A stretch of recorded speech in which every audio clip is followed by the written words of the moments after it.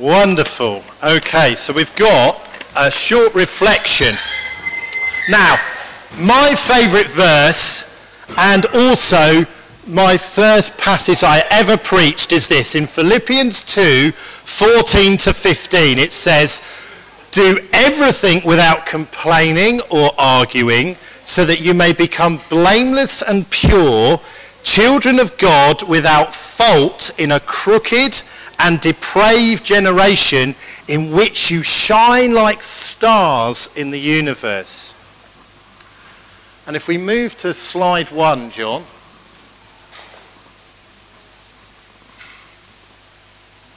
Got slide one.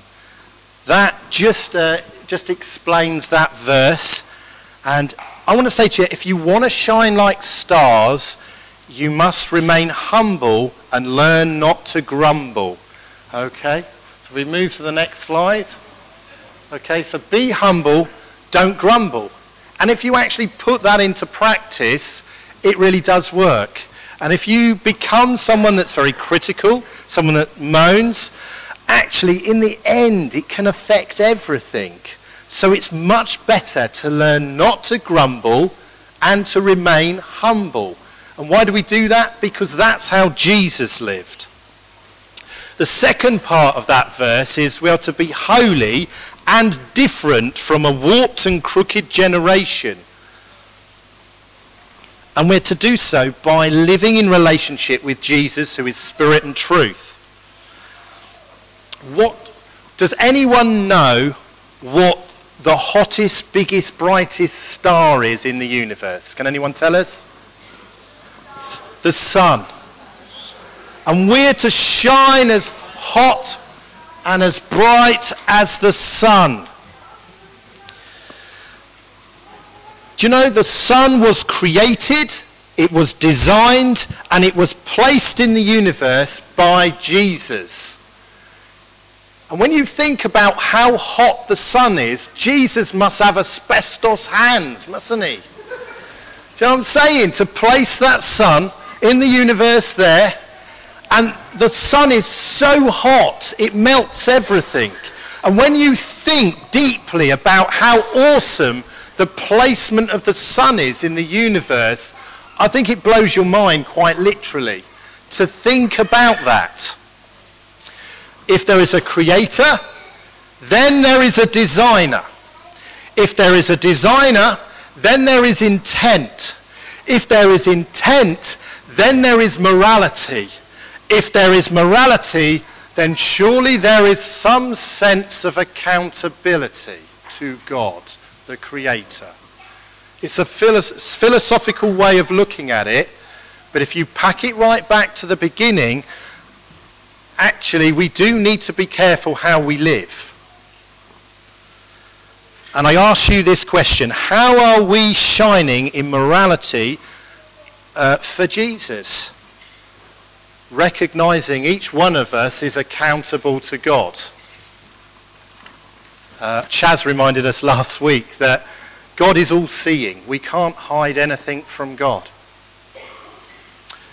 Historians have studied the general distinctive nature of the church through the years. One particular historian is Dr. Larry Hurtado.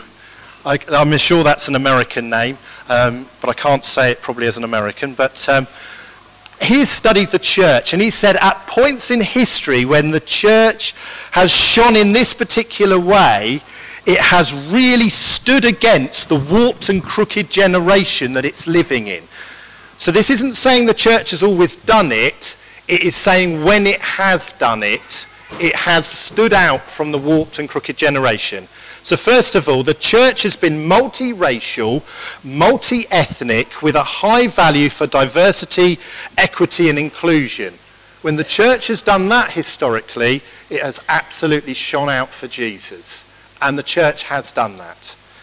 When the church has spread across social economic lines, as well as placing a high value for caring for the poor, as well as that, those that were in a rich place have learnt to share their wealth with the community, that is when the church has really shined. In other words, when the church lives for the poor, it really shines. Also, the church has shown resistance to abortion or treating infants in a particular terrible way. When the church has stood up for the young and the vulnerable, then it has shined, I think, more brightly. These, get, these are ethical questions that the church has answered throughout history in various ways. I also think the history, in history, the church has stood for marriage and sexual purity. And when it has lived out that, I believe it has shone in a warped and crooked generation. It stood for real family, what it means to be family.